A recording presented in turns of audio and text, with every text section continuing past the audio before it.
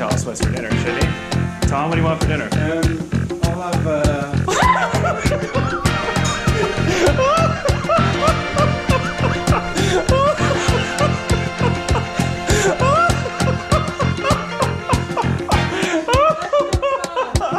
This has been going on for like three weeks, okay?